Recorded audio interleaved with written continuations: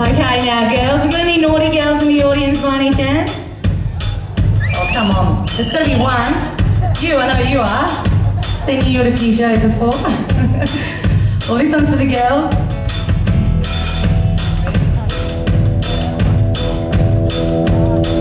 You.